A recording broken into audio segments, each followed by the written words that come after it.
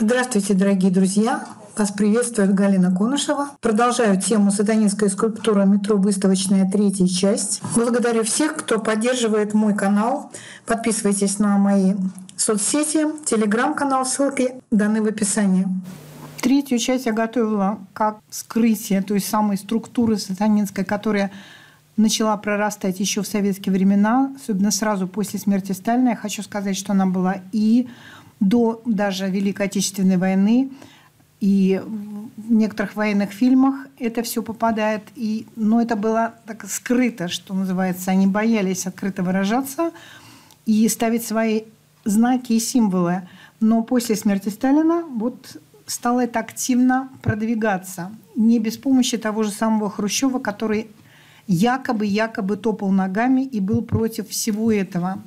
Но прежде чем перейти, я получила письмо от одесситки Татьяны. Фамилию я называть не буду, поскольку сейчас идет военная операция. Одесситы, в общем-то, особенно те, которые поддерживают связь э, с нами, они могут подвергаться всяким гонениям. Тем не менее, я благодарю ее за информацию. И вот что она мне написала. Как раз в связи со скульптурами Эрнста Неизвестного – Галина, здравствуйте. Посмотрела сегодня ваше видео. Ну, это от 10 мая. Письмо. Посмотрела сегодня ваше видео о сатанинской скульптуре Москва-Сити. Благодарю вас за великолепное расследование. У меня мозг закипел и прошла параллель с Одессой. Чем больше я смотрела и слушала вас, тем больше понимала, что происходит в Одессе. Излагая кратко и по сути. Подробности вы можете прочитать в интернете. У нас в городе 9 мая 1995 года перед зданием морского вокзала открыт памятник «Золотое дитя» работы Эрнста Неизвестного. Вот, кстати, они открывают это на зло, как бы во зло. Они наши, они наши праздники стараются забить своими символами. Поэтому 9 мая. В народе это убожество прозвали киндер-сюрприз и жертва аборта. Способствовал этому тогдашний мэр Едуард Гурвиц – ныне проживающий на своей исторической родине в Израиле. С двух сторон видны две якобы пирамиды. Под этой площадью, где стоит памятник, расположен концертный зал. Зимой ежегодно там проводят бесплатные детские новогодние представления. За этим памятником находится гостиница «Одесса». Ее еще позже назвали Кемпински. Ее открыли в День дурака. 82 метра высотой – имеющая шпиль. Это здание более 10 лет не эксплуатируется, там нет отопления, все законсервировано. Проще говоря, это здание-призрак. Ниже я вам дам ссылки на то, как и кем это было построено. Здание, скорее всего, нужно давно сносить, но оно продолжает стоять и выполнять свою функцию, естественно, не гостиничную. Вокруг памятника этого здания по часовой против часовой стрелки ходят люди, гуляют туристы. Шпиль, как передающая энергию антенна. Напротив расположена Потемкинская лестница. Зимой во время еврейского праздника Хануки наверху лестницы справа от дюка устанавливают девятисвечник. Вокруг ходят тысячи людей. На фото видно здание гостиницы «Призрака» напротив свечу. Надеюсь, я чем-то помогла вам в изучении данного вопроса. Буду рада ответить на вопросы. Может быть, что-то смогу добавить к теме. Простите за сумбурный текст. Пишу, а мысли кипят с уважением Татьяна. Я хочу сказать, что некоторые ссылки вот конкретно по теме не работают. Вот по Википедии мы посмотрим, а вот эти ссылки, они не работают сейчас с Украины. Ну, у меня, по крайней мере. Но, тем не менее, я навела справки. Сейчас мы посмотрим эту скульптуру и сделаю не, некие выводы, общие выводы. А потом перейдем к теме фильма. Ну, то, что в Одессе устанавливает, вот так явно иудейские символы ветхозаветные. И вот та самая скульптура. Называется «Золотой мальчик». Якобы «Золотой мальчик». Ну и сейчас мы немножечко информацию по этой скульптуре найдем. К сожалению, картинок вот каких-то более точных у меня нет. Мне немножко помогли. Помогли с этими картинками. Но найти что-то более, более хорошего качества, чтобы посмотреть со всех сторон – как эти пирамиды расположены. Ну вот они видны. Вот, вот эта пирамидка, потом там с другой стороны еще одна пирамидка. Здесь некие медальоны, тоже странноватые. И вот эта фигура золотого мальчика. Хочу сказать, что название «Золотой мальчик» опять-таки Эрнест неизвестный позаимствовал. Это называется плагиат название, потому что до него уже было несколько золотых мальчиков. Но вот он решил своего золотого мальчика создать. И сейчас посмотрим, как он это все объясняет. «Золотое дитя» называется. Бронзовая скульптура Эрнста Неизвестного, установленная на морском вокзале. городе Одесса. Эрнст Неизвестный задумал скульптурную композицию «Золотое дитя» по случаю празднования 200-летия города Одесса. Еще в 1944 году скульптор бойцом Красной Армии побывал незадолго до этого освобожденной Одессе. Его поразили разруха в городе, но крепость несломленного духа одесситов, прошедших через два с половиной года оккупации, этот контраст запомнился будущему скульптору, и задуманная композиция выпадала из традиционной стилистики автора, трагичной, напряженной и динамичной. Скульптура ребенка нежная, мягкая, округлая, но вместе с тем в ней уже ощущается сила будущего гиганта. «Золотое дитя» по замыслу изначально предназначалось именно для Одессы. Должно же, думал я, где-то в России сохраниться элементы оптимизма. Это могучий ребенок, что-то вроде маленького гаргантюа. Он, как надежда, появляется из цветка или, может быть, вылупляется из яйца. Словом, он символизирует нечто новое, нарождающееся, чему принадлежит будущее. На это, во всяком случае, мне хочется надеяться – я впервые за свою жизнь создал монумент в светлом, радостном, романтическом ключе. Золотое дитя – яркий, солнечный образ рождающегося гиганта, надежда на процветание будущего вольного города. Значит, на данный момент, в 1995 году, это еще не вольный город, судя по вот этой речи, вот этой сладкой, медоточивой речи Эрнста Неизвестного. Да, еще, значит, э, был одобрен городскими властями во главе с мэром Одессы Эдуардом Гуровицем. Вот он, этот товарищ, Эдуард Иосифович Гуровиц. Я получил официальный заказ и начал работать, рассказывает автор, на скульптурную работу пятиметровой высоты. Мне отпустили гигантскую сумму, но за инфляцией эти деньги превратились в ничто. Можно считать, что я сделал «Золотое дитя» бесплатно, как мой дар Одессе. Совместно с Эрнстом Неизвестным над скульптурной композицией работал одесский скульптор Михаил Рева. Элементами композиции являлись монеты и ветра. По проекту неизвестного скульптуру ребенка должны были окружать четыре ветра. Ну, сейчас мы посмотрим, есть тут какие-то ветра. Эти ветры были исполнены Михаилом Рева в форме бронзовых медальонов, установленных у основания памятника – Гипсовую модель памятника по частям перевезли из студии скульптора в Нью-Йорке океанским судном в Одессу. Из Одессу доставили в Киев, где на заводе монумент скульптура по гипсовым формам были отлиты бронзовые детали, которые были собраны в единое целое и установлены на Одесском морском вокзале. Открытие памятника было приурочено к 50-летию Победы в Великой Отечественной войне. Памятник был торжественно открыт 9 мая 1995 года. На открытии присутствовал сам автор монумента. Четырехметровая фигура мальчика стала самой большой в мире фигурой младенца. Скульптура получила народное название «Гурвиц в чреве матери». В общем, народ не принял эту скульптуру, горожане не приняли, но гурвицев и неизвестных, их, в общем-то, иудеев, или кто они там, сионисты, или кто они там, сатанисты, я не знаю, их вообще не интересует мнение народа. Их интересует только свое мнение. Мы это уже поняли. Даже по тем комментариям, которые мне присылали, они на на мою критику, так сказать. Хотя я не критикую, я просто показала. Я просто показала эту скульптуру без всякой критики. То есть имеющие глаза да увидят. Но вот им не нравится, что мы критикуем, что мы не принимаем вот это искусство, потому что мы где ничего не понимаем. Ну, они-то у нас разбираются. Но вот так вот не повезло с народом, что называется, с русским истотным коренным народом многонациональным. Вот этой небольшой, собственно говоря, кучке людей, которые не считают Россию своей родиной, и как только где-то чего-то забрежет, они тут же куда-нибудь убегают. Ну, бегают по всему миру в надежде лучшей и легкой жизни. Такое вот, есть такое паразитарное народец. Не все евреи такие, это не относится ко всем евреям. Не подумайте, сейчас скажут, что я там какая-нибудь антисемитка, хотя семитские народы – это и арабские народы в том числе.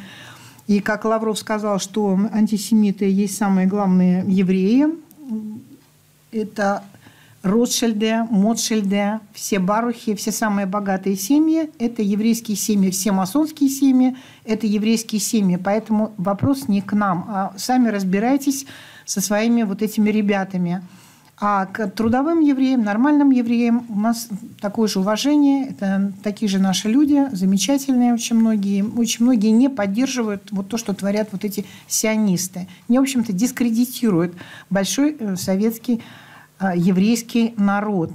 Так вот, это вот такая у меня тирада была. Потому что приходится все время оправдываться. Пока так. Значит, что мы здесь увидели в этой небольшой информации? О том, что Паныл, немножечко Эрнст неизвестный, по поводу того, что ему выделили гигантскую сумму. Вот смотрите, живет он в Нью-Йорке, в США, и получает заказ на огромную гигантскую сумму. Вот нету больше э, в постсоветской Украине ну, нету скульпторов, нету в самой Украине, я не, не говорю про Одессу, а вообще в других городах, вот, ну, нету скульпторов, которые бы могли создать что-то достойное, какую-то достойную скульптуру к 50-летию освобождения Одессы. Вот и одесских э, своих собственных скульпторов не нашлось. Вот надо было гигантские деньги высылать Эрнсту Неизвестному, которые он плачется о том, что они сгорели в инфляции. Хотя я думаю, что это опять-таки ну, чистый, чистое вранье, потому что если он живет в США, то ему, скорее всего, заказывали в долларах, и ни в каких там ни, ни гривнах или еще каких-то деньгах. И доллары, они, в общем-то, не, не должны были сгореть в, в инфляции, а наоборот должны были увеличиться в, в сумме. Ну, вот, вот, вот таким образом. То есть я не думаю, что ему гривнами платили, если он живет в Америке. Значит, ему платили в долларах и сгореть в инфляции они никак не могли. Вот даже здесь вот он поныл. То есть якобы он такой бессеребренник у нас. Теперь по поводу названия я уже говорила, что ну, здесь он золотое дитя, ну хорошо, был золотой мальчик, а здесь золотое дитя. Есть вот золотые мальчики. Первый он был поставлен в Лондоне, посвящен лондонскому пожару 1666 года. Тоже интересная эта тема этих мальчиков золотых, потому что вот э, скульптура «Золотой мальчик» расположена примерно на том же месте, где Великий пожар в Лондоне в конце концов потушили после того, как он уничтожил около 70 тысяч из 80 тысяч домов на территории старого лондонского Сити. Считается, что пожар начался в пекарне, ну и так далее. То есть опять тоже это был какой-то странный пожар в Лондоне, похожий на пожар, который был недавно в Калифорнии, как вот, который был создан каким-то лазерным лучом, когда дома зажигались, сгорали изнутри.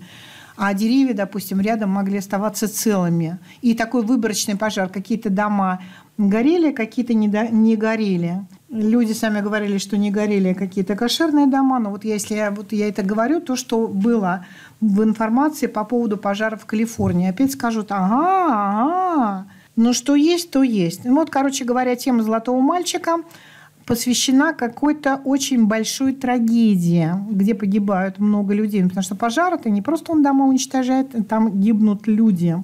Еще один «Золотой мальчик» – это уже был у нас.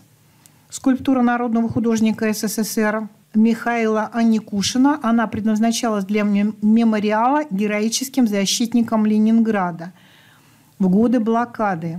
Но скульптура эта сама не дожила, то есть ее не поставили, она оставалась только в гипсе, и она, похоже, не сохранилась вообще. Итак, тема «Золотой мальчик» – это тема, когда ставят эту скульптуру там, где погибло очень много людей – и здесь идея этого мальчика, вот как он говорит, при этом он, как и другие источники, оценивают роль мальчика в замысле скульптуры. Этот ребенок должен был сбегать вниз по лестнице внутрь, как олицетворение жизни, возвращающейся в город. Ну вот смотрите, в принципе, перекликается с тем, что писал Эрнст Неизвестный. То есть, так сказать, упер э, сюжет, что называется, и фактически даже описание этого мальчика – то есть там тоже лестница, Потемкинская лестница, здесь тоже лестница. Дальше он пишет, Аникушин. Я долго думал, что поставить в центре композиции. Однажды уже во время работы над памятником в мастерской бежал мой внучок, пятилетний Андреяшка, Адрияшка, и я вдруг отчетливо понял, символ найден. Именно фигурка маленького ребенка, его крохотная жизнь должна объединить всех этих больших и мужественных людей. Фашистское офицерье призывало своих солдат уничтожай, кроши, руби во славу фюрера, и пусть твоя совесть будет чиста. А мы боролись не ради славы, мы боролись ради жизни. Ребенок для меня эту непобедимую жизнь символизирует. И мы видим действительно вот вполне симпатичный мальчик, обычный мальчик, ну просто живой, нормальный мальчик. Вот он. Вот эта фигурка мальчика. Ну и идею, собственно говоря, здесь позаимствовал Эрнст Неизвестный. Вот такая якобы нежная скульптура, на самом деле уродливая. Ну, на ребенка не похож. Похож больше на уродца, на карлика на какого-то больше он похож, чем на ребенка, потому что ребенок не обладает такой мускулатурой. Даже если он пытался сказать, но это ну, все равно какая-то не знаю, адекватность должна какая-то. Но мы уже поняли, что Иранс неизвестный, он, у него отсутствует всякая адекватность. И вот из чего-то он вы, выползает. Вот если это матка, то, ну, не знаю, чья это матка и откуда он выползает. И на яйцо это не похоже, и на женскую матку это тоже не похоже. Действительно, уродство, некое уродство, но вот должен был получить гигантские деньги за это дело. Вот они, эти пирамидки. Вот это уже вторая пирамида у нас. Вот так где-то. И медальоны «Четыре ветра». На счет четырех я вот здесь вижу один большой медальон и пять других медальонов. Ну да, красотой и гармонией это не отличается и не вызывает никаких чувств в памяти возрождающейся жизни, памяти жертвам, жителям Одессы, которые погибли в период оккупации. Вот так поближе. Ну, урод какой-то. Жуть просто. Просто жуть. И вот за это надо было отвалить какую-то гигантскую сумму, какую нам не, не назвали. Вот здесь лучше видно это уродство. На младенца он никак не тянет. Что-то вот э, опухоль здесь на голове. Это больше похоже на взрослого карлика, который откуда-то вылезает из какой-то тоже уродливой структуры. Но это в его духе в его стиле. Еще раз посмотрим, вот такие он любит эти вещи. Вот еще одна картинка из письма. Вы знаете, я даже не собиралась это вставлять в фильм, потому что только сейчас, когда я монтирую фильм, я посмотрела на эту картинку другими глазами. Я что-то до этого в письме ее не видела. Сейчас посмотрела все картинки, и вот я вижу, что если символично вот это острие, это как бы колени женщины, вот она здесь рожает – вот это монстра вот этого, или женщина, или чьи это там колени, ну, короче, выходит оно, выползает, да, вот уже само по себе даже, даже намеки, они какие-то сами неприятные, некрасиво.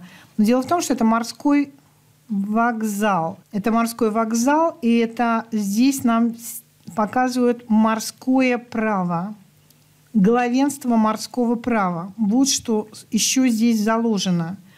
Они таким образом утверждают в символике себя, что они пришли откуда-то вот с морей. Это вот пиратская такая символика именно на фоне морского вокзала, прибытия. Но это не человек все-таки, поэтому мы можем к себе это не относить, и на свой счет это тоже не относить. Но это их намеки, которые они нам пытаются везде внедрить вот это свое морское пиратское право. И в этой картинке я это вижу. И вот эту фотографию в чате Телеграм прислали подписчики. Я попросила медальона найти. Вот только такая фотография нашлась. Что это за четыре ветра? Совершенно непонятно, но у них вообще не понять, потому что их вообще не, невозможно понять, эту логику ненормальных людей, шизофреников, больных людей на всю голову, потому что они однозначно больные люди, мы это уже понимаем по всех их скульптурах по, все, по всему этому так называемому искусству, великому и большому.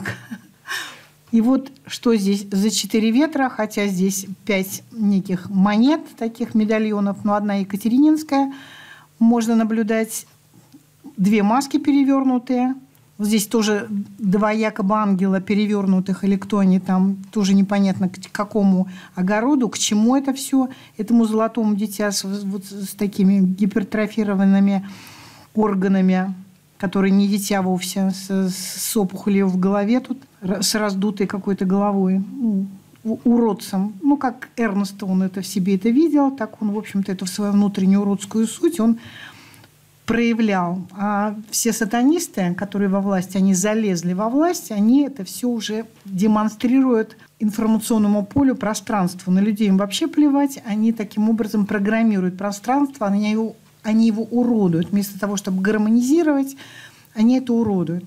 Если это все убрать, то это будет просто природа, которая сама по себе гармонична, потому что Бог уродства в природе не допускает. Природа прекрасна все уродство идет вот от этих э, хабадников, от этих сионистов, от этих э, непонятных, откуда они сами произошли, которые имеют отношение, как они говорят, к еврейскому народу. Не знаю, наверное, к еврейскому народу они тоже отношения не имеют. Непонятно, к кому они вообще имеют отношение. Ну и здесь вот еще бараньи рога, сатанинская символика. Здесь вообще не, не видно, что это такое трудно прочитать, качество не позволяет. И на этом медальоне тоже не совсем понятно, что изображено. Ладно, не будем мучиться, собственно говоря. Нам это не понять и не стоит особо заморачиваться, потому что когда мы вычленяем это как не наш, как то, что мы не принимаем в себя, то это разрушается. Их суть сама разрушится. Это неизбежно будет разрушаться, потому что оно не вписывается божественное пространство природы Земли не вписывается.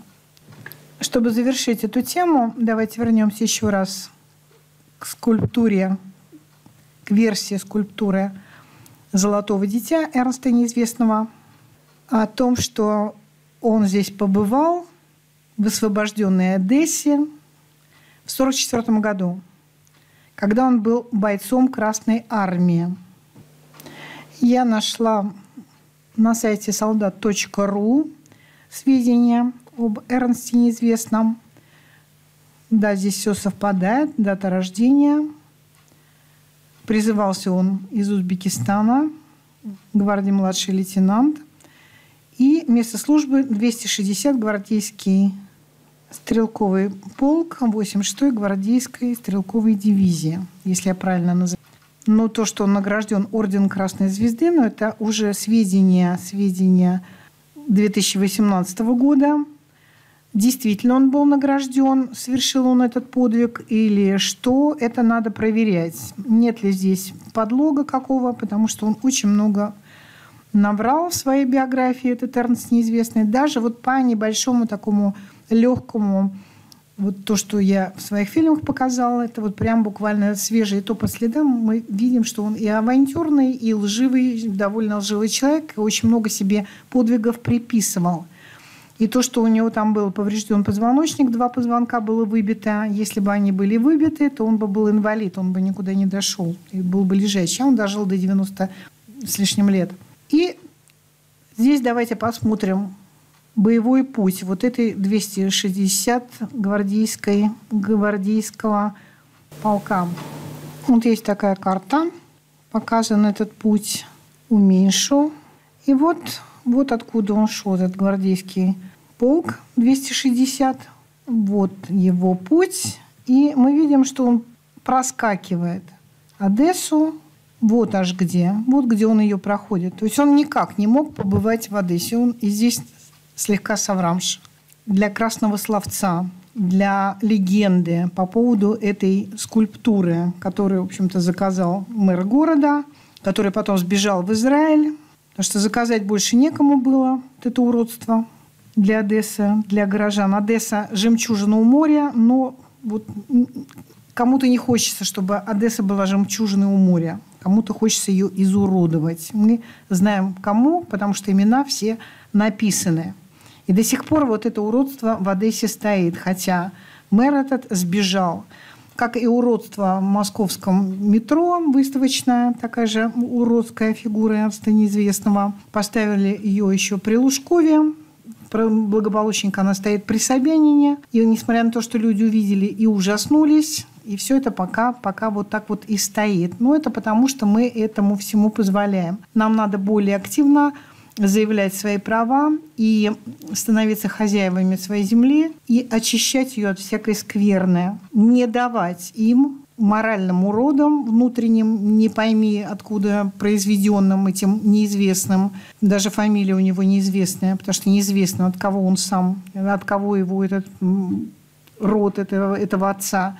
Потому что по поводу мамы мы поговорим в следующей части в другом фильме, потому что в этот фильм уже все не помещается, потому что и здесь есть еще по Одессе одна скульптура, которую надо обязательно сказать. Это уже свеженькая, современная. И эту скульптуру мне прислали, опять-таки, подписчики, когда искали медальоны вот по поводу Эрнста Неизвестного, вот этого «Золотого дитя», и наткнулись на другую скульптуру, тоже, тоже в этом же стиле.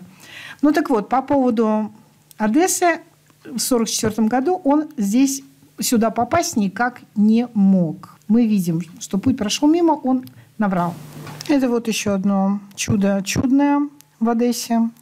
Это прислала мне подписчица в телеграм-канал. Вот пока листала памятники, напоролась на это. В городском саду поставили. Это в парке. В городском саду Одессы появился памятник в виде коронавируса с золотой вагиной. Пандемия домашнего насилия в виде коронавируса с золотой вагины. Об этом сообщает портал. Вот такое чудо. Видите, там сзади колесо обозрения.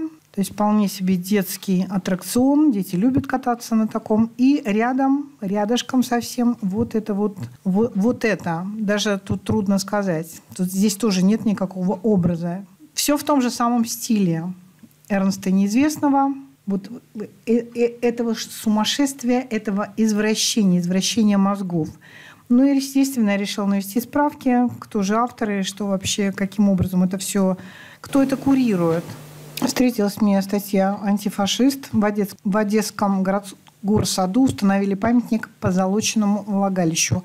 Ольга Талова, 26 ноября 2021 год. Борьба с коронавирусом в Украине перешла в гротескную форму. В Одессе сделали инсталляцию, изображающую влагалище женщине в вибрионе коронавируса – Таким образом, художник, в кавычках она говорит, попыталась обратить внимание на рост количества домашнего насилия во время пандемии. Вот легенда составлена для того, чтобы утвердить и поставить это уродство.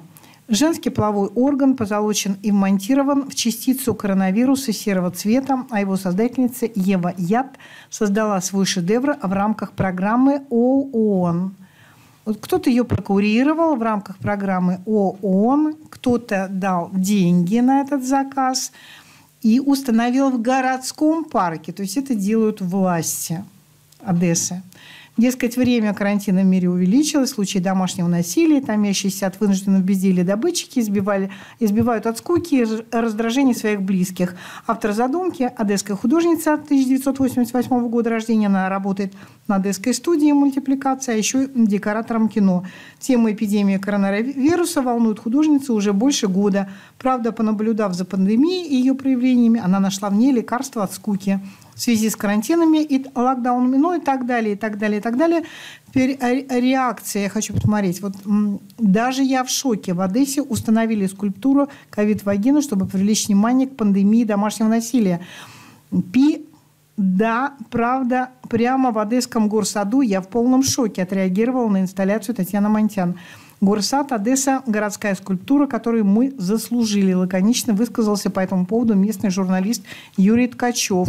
Сами одесситы возмущены таким проявлением искусства и требуют демонтажа инсталляции, расположенной в центре города. Почему такое дерьмо устанавливают без согласования с горожанами? Кому это интересно? Чем помогла эта композиция в борьбе против насилия? Негодуют жители Одессы. Только больное воображение на такое способно. Меня интересует другое. Кто разрешил это выставить на всеобщее обозрение? Сейчас в моде гендерное равенство. Раз так, пожалуйста, рядом разместите золотой мужской орган. Иначе сексизм какой-то получается. Пытаются шутить одесситы. Да, жаль, что умер Жванецкий. Наверное, бы он сам одессит а обыграл бы это очень интересно. Вот одессит Дмитрий Мороз считает памятник очень актуальным. По его мнению, композиция очень точно отражает состояние вещей в Украине, да и в мире в целом.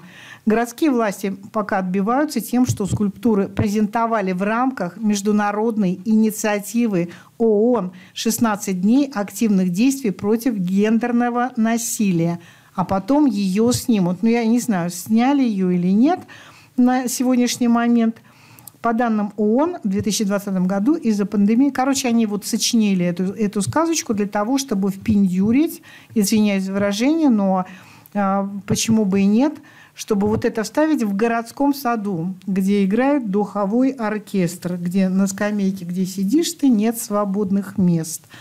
Но это вот когда-то было, а сейчас вот такие времена настали. Вот, вот такое чудо. Я навела справки по поводу автора Евы Яд. Ну, видим, просмотров немного. Может быть, после моего фильма будет гораздо больше просмотров. Берут у нее интервью по поводу того, что она хайпует. У нее несколько, ну, не то что несколько, много-много таких работ именно с разными женскими половыми органами. Она на этом специализируется, специалист такой. Но когда я наблюдал за ней, я не могу показывать этот фильм, потому что это авторские права. Я могу просто вам рассказать. Я его посмотрела, послушала интервью, и у меня двоякое впечатление сложилось об этой женщине. Она еврейка, да. Она сказала о том, что некий раввин ей предложил сделать еврейский паспорт, ну или, не знаю, иудейство принять. Она говорит, что она сама неверующая, то есть она атеистка, она не иудейка, и она ему говорит, ну это же тогда будет лицемерие, а он ей на это ответил, что а лицемерие – это не грех. И она это взяла на вооружение. То есть она эту фразу, то, что лицемерие – это не грех, она взяла на вооружение. Еще из всего разговора я поняла, что все-таки воспитывалась она в традиционных ценностях. И даже мама или родственники какие-то ее старые знакомые, они не одобряют сегодняшней вот ее такой программы скульптурной деятельности. Журналистка задает ей вопросы по поводу того, что все-таки это хайп. Она пытается сказать, нет, это не хайп, она делает то, что интересно, но ее поведение, как психолог могу сказать, не конкурентно вот с этим объектом. Это цветок э, типа в виде розы, на самом деле это стилизованная ее та самая вагина. Вот она ее то так берет в руки, то... Короче говоря, этот цветок ей поставили, рекомендовано для снятия вот этого интервью ну что она таким образом себя позиционирует. Ну как она его теребит в руках и не знает, куда его деть, это говорит о том, что вот это самое женский половой орган – и вот эта инсталляция, то, что она пытается показать и демонстрировать, ей, ее натуре или какой-то ее части не свойственно. Значит, она себя где-то ломает или, или сломала, или перешла через себя. И она об этом несколько раз повторила через некие старые программы, шаблоны. Ну, якобы она к свободе там идет. На самом деле она, по всей видимости, где-то сроднилась с ними, с этими ребятами-сатанистами. Э, хотелось бы, наверное, посмотреть ее многие работы. Я думаю, что там будет эта сатанинская символика, потому что в одном местечке это мелькнуло. Сейчас попробую найти. Вот еще говорю, она теребит этот цветок. Э, в процессе видео это видно, что не знает, куда его деть. Она не конгруентна с ним. Вот, теребит, потом то сюда его положит. Вот на картине на заднем фоне есть вот этот значок, три шестерки стилизованные, сатанинский знак. И вот кругом ее эти замечательные, авторские. Ей позируют женщины такие же. Вот такая якобы, якобы современная скульпторша, художница. Не бесталанная, не глупая. Ну и вот, видите, она его засунула, этот цветок, под коленку. Он ей мешается, явно он ей мешается. Но режиссеру, кто, или она сама это так решила – не отследив, потому что она была довольно искренне в разговоре, а вот этот момент она не отследила. Все невозможно отследить, невозможно. Поэтому здесь она прокололась. И я могу сказать, что в ней есть часть, которую она ломает. Она борется с ней, она ее доламывает, добивает вот эту человеческую, настоящую суть, вот и женскую, потому что ей с этой части тоже неловко это все демонстрировать но она эпатирует, она переходит сама через себя, она пытается самой себе доказать, ну и всем остальным, наверное. А ее в это время используют. Возможно, ей кто-то рекомендовал именно заниматься этой работой, именно вот таким вот хайпом, как вот, ну, хотя она говорит, это не хайп.